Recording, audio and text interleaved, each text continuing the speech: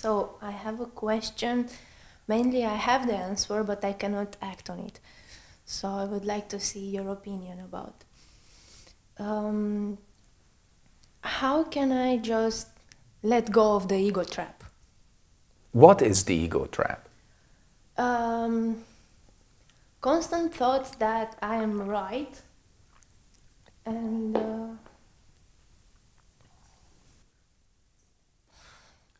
uh, Right about what or whom?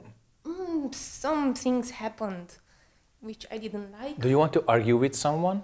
Yes. Good. Is the guy bigger and stronger than you? No, I can beat him up. That's the problem. yes. Otherwise, I would have suggested that you directly confront him, 120k, all muscles, and you say, I'm right, you're wrong, and then you run. So, otherwise, uh, if you could win, it's dangerous because it becomes an even bigger ego trip. That's Therefore, that's the trap.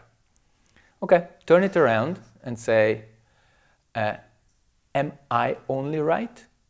Or is it possible that a little bit he or she is right too? Yes, it is, and that's my problem too, because I don't want to admit it. In a way, you already did. Yeah. You just can't accept it that you admitted that. Yeah. Okay. So, when you see this, you already reflect on this frustration and this little anger that's inside. And nobody wants to be angry in the long run because it consumes you, it burns you, it hurts you too. If you are kind of honest enough and you see what anger does, it's, it's really destructive, self destructive too. So, first is attachment. You attach to anger. I'm right, and I'm going to beat the shit out of you. So that's attachment. This point is already reflected. You already reflect on it. Now you chant, chant, sit, sit, etc., etc. Then you can put it down. That's no anger. No anger. That means you can transform that energy into something else, into some other action. And eventually you will be able to transform it into help. Because you realize that if you want to take away this karma, you should be able to help this person not right away and not romantic, you know, say, I am now the great bodhisattva. No, no, no, no. That's very dangerous. See the potential where you can help that person, even indirectly, or just try not to cause any harm. Usually, in these relationships, we do not realize our own contribution to it, how it became so bad. Now, if you do see how you contributed to that formation, how the relationship ended up in this way, then without any sense of guilt, you can point it out like a car mechanic points at a, a faulty alternator or a battery or an oil, oil filter, and you replace that with something, okay? So instead of just feeling resentment and uh, haughtiness and wanting to fight, say, I actually do not want to relate to this person anymore. How do I let that go? And you realize that you have to finish it. And finishing it means no more interaction, at least not in this way. And then you have to contribute to the completion of that relationship, whatever is at your end. Because it's mutual, it's never one sided. Even if you see your own contribution just 1%, and 99 is the other, it's never like that. Mm-hmm. But you see that 1% through that whole of you know, vision, you can perceive what your contribution to that relationship was and, and you turn it around. Okay? Many times we want to be just right, we want to be correct, and we make a lot of enemies. Same.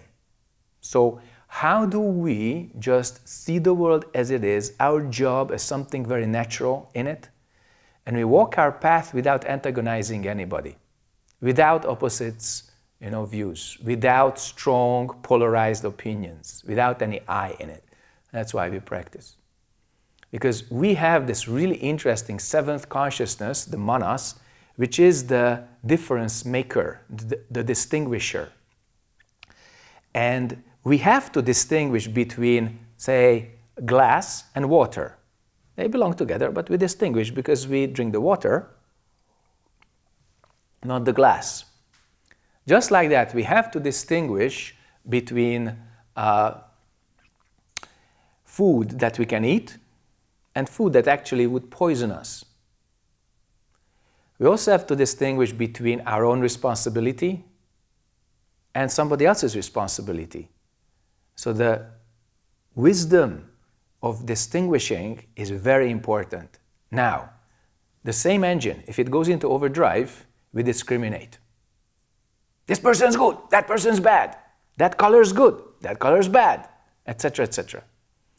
So it's the same instrument, but one is optimal function, distinguishing, the other is overdrive, discrimination, and the underfunction is when you cannot distinguish.